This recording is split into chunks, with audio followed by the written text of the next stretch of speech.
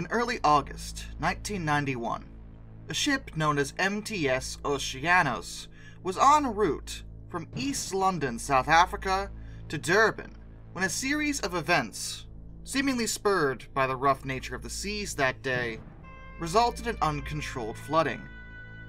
Confused and scared, passengers attempted to look to the crew to help them. But as it turned out, the captain was in no state to help the passengers, and many of the officers had already left the ship without even attempting to coordinate some sort of evacuation. And as a result, hundreds of people were left stranded on the stricken vessel, at the mercy of the sea, and with only the entertainment staff to rely on for possible salvation. MTS Oceanos was actually a French built ship, but it was Greek owned. She was originally laid down all the way back on March 6, 1951, and launched July 12th of 1952. She was officially completed in June of 1953, and remained in service from that time until 1991. Oceanos was not her original name. She was known as Jean Laborde, and was the last of four sister ships built for Messageries Maritimes. Throughout the decades, she passed through many different owners, as well as name changes. She had at least five different names, but Oceanos is what she was called when she was acquired by Epirotiki Lines of Greece in 1976. By 1991, it was pretty well known that she was in rough shape. She was old, for one, but she also hadn't been maintained as well as she probably should have been. She had a 10 centimeter hole in her watertight bulkhead, therefore making it not watertight at all, and she had loose hull plates, as well as check valves that had been completely removed for repairs. In the day of this particular cruise, she was dealing with a faulty waste disposal system in the engine room. That was in the process of being repaired as she left port, and she'd been delayed by a bomb threat, of all things. When it was found that this was a hoax, she was allowed to leave, but she was late, and the crew pushed her to try to make up some time, even though the waves that day were very rough. She was under the command of Captain Yiannis Avranas, who by that point had been an officer for 20 years, as well as a sailor for 30. He had plenty of experience. So even though he was sailing Oceanos into 40 knot winds and 9 meter swells, the crew trusted him to know exactly what he was doing.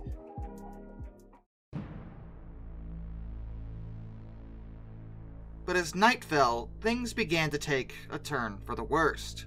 Oceanos actually had a wedding party on board at the time, and there should have been a sail away party on deck as she, well, sailed away. But because of how rough it was, the party was held inside the Four Seasons Lounge. But a lot of passengers chose to stay in their cabins because, frankly, it was just kind of miserable. But the storm as it was, it made it very difficult to actually enjoy the cruise. When the first sitting of dinner was served, waiters could hardly carry the trays of food without dropping something. Oceanos was being tossed around like a rag doll, and it all came to a head at about 9:30 p.m. The repairs to the waste disposal system hadn't been completed, and as such, a critical ventilation pipe, which ran through the watertight aft bulkhead and the non-return valves, weren't actually replaced yet at all. The suspected cause of her flooding has to do with the freak waves that kept slamming against her. Eventually, the pipe's shell plating burst open due to the shocks and began to fill the compartment with seawater. Now, that could have been controlled if the waste disposal system was functioning properly, but because it wasn't, there weren't any check valves to stop the flow. So not only was the water flooding the engine room, but it began to back up throughout every toilet and shower in the ship. And because it was flooding the engine room, not only did it stop her engines, but it also shorted the generators. The ship had no power, and thus she was left stricken in the rough seas and began taking on even more water. Now remember, Avranas is the captain, and he has a duty to protect his ship, but more intrinsically, all the souls on board. So naturally he called for an abandoned ship, and by abandoned ship he means he and the crew could abandon ship, but he didn't actually tell anyone else that they were abandoning ship because that might have been helpful. Well, Oceanos rolled so badly that furniture was falling over inside the ship, no alarm or announcement had been given that she was even in any danger at all, let alone that the crew was leaving. Enter Moss Hills, as well as his wife, Tracy Hills. They were musicians on board the ship. He, a guitarist, and his wife, a bassist, and they had worked on plenty of ships before. They'd been on the ocean long enough to know that none of this was normal, and he grew curious as to why there were no crew members simply attempted to guide the passengers to where they should be. They explored a little bit below decks and discovered the, uh, well, the flooding, and thus assumed that the ship was sinking, which they were correct. And then they found the cruise director, Lorraine Betts, who told them that the captain had indeed given the order to abandon ship, and that some of the crew had already left. They attempted to launch the lifeboats, but they weren't able to start their engines, and Oceanos was starting to list to starboard, making it impossible to safely launch anymore. At this point, Moss and several passengers went to the bridge to try to look for the crew, and found it completely empty. There was there was nobody there. They did use the radio phone to broadcast a Mayday distress call until Moss received a response, as there were still about 170 people left on board. He did receive a response, to which this rather horrifying yet slightly amusing exchange occurred. Where are you? I don't really know. Somewhere between East London and Durban. Can you give me your actual position? No. What is your rank? I'm the guitarist. Prior to all this happening, Lorraine had actually found the captain trying to get into one of the lifeboats. She did bring him back on board, but according to her, he seemed to have completely shut down and wasn't capable of directing the evacuation. But Moss had gotten a hold of rescue, and two smaller ships that were nearby began making their way towards the stricken Oceanos. And they weren't necessarily in the middle of the ocean at the time. They were actually within sight of the shore when all this was going on, the wild coast. And South Africa's search and rescue helicopters were scrambled, but it was the middle of the night, and given the rough seas, it was nearly impossible to actually mount a safe rescue until dawn broke, and that wouldn't be for four hours. But to Oceanos' credit, somewhere within her poorly maintained hull was a spirit of the grand ship she once used to be, and she held on. Despite the flooding, she did not sink until daybreak. The helicopters slowly began to take the last of the passengers off the ship, According to Moss, he had actually found the captain later at the back of the ship. He was having a cigarette, all alone out in the dark. He told him that they needed his help, but he just looked at him, wide eyed, and just said, It's not necessary. It's not necessary. Moss felt that he was in deep shock. At this point, it seems that Avranas was less uncaring of the passengers and more in sheer denial of the situation, almost having some kind of panic attack or psychological break. Either way, he was not equipped to handle this at all. And according to one story, he was one of the first to be hoisted up to the helicopters, pushing another passenger out of the way, even though they demanded that he should stay. But regardless, they did get everyone off. And just 45 minutes after the last person was removed, Oceanos could hold on no longer. She sank beneath the waves, becoming the only death in the disaster.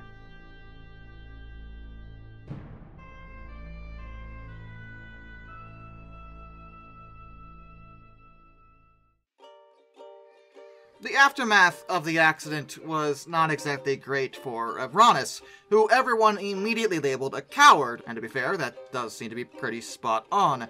The media lambasted him, though he claimed that he had left the ship first to arrange for a rescue effort, and then supervise the rescue from a helicopter because the batteries of the crew's walkie-talkies had died, meaning that he had no communications with his crew or with other rescue craft. Never mind the radio that was working on the bridge. No, no, no, no, no, no. That's that's not relevant. He was also quoted as saying, "When I order abandon the ship, it doesn't matter what time I leave. Abandon is for everybody.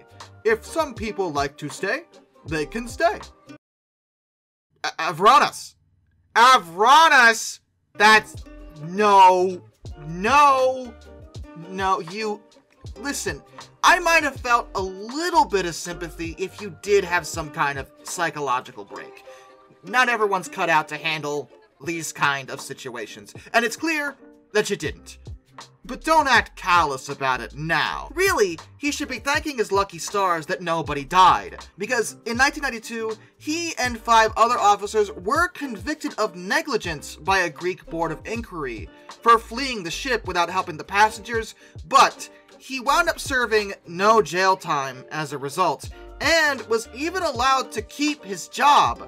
Oh, yes, Epirotiki Lines gave him another command with a ferry, and he continued working as a captain until he retired. Though thankfully, nothing else like this ever happened under his watch again. On the flip side, the entertainment staff, particularly Moss and Tracy, as well as a magician named Julian Butler, yes, a magician, all the entertainment staff was helping, when none of the actual officers were, were hailed as heroes, as they had managed to keep the passengers calm and coordinate things to the best of their ability. Their actions saved many lives that day, and Moss, as well as Butler, were the last to leave, having basically stepped into the role that Avranas was unable to fulfill. To date, Moss and his wife are still together, and though they still kept working on ships, with Moss eventually becoming a cruise coordinator, Tracy doesn't really like doing interviews about the particular incident as it was kind of a stressful situation that's understandable. Though Moss has given plenty of talks about it, and seems to be an all-around decent guy at the end of the day.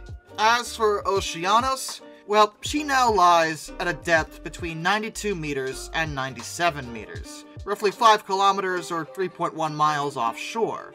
So it seems like she's pretty accessible, and divers have visited her, but there are very strong currents in that area, and that makes it pretty difficult to get down there. Photographs that were taken in 2002 show that her bridge section has collapsed.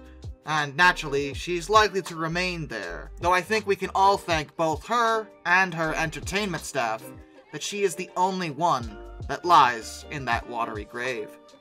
And with that, as your host, Darkness the Curse, I would like to give a thank you to my generous patrons, my British rail critics, and a special shout out to my underwater train finders, Some Dude 267, Orange Glass, Benjamin Owens, Panzer Kitsune 131-232, Josh Johnson, Metal for Life Guy, Anzac A1, Arthur Roy, Tommy Rossini, Lord Captain Von Thrust III, Joshua Long, Brian, Jack Carson's Row videos, Hayden DeGrow, Master of None, Lord Hoff 444, that guy with the beard, Mark Holding, Murder Drone Stall, A Person 723, DM Trouble Typhoon, Alfonso Lapuche, Royal Hudson 2860, Iserfer 1405, Charles Kwiatkowski, Matthew Wolf, Ohio Trucker 1, Mr. Sleepy, Matt Weaver, Albert Jaspers, Tom Red Lion, NS Productions 8104, Hannah Bird, Hendrick Motorsports Fan 5, Wheeljack 8401, Rescues Greyhounds, Dr. Ray 78, and The Baxter. Till next time, this is Darkness and Abijuela Fond farewell.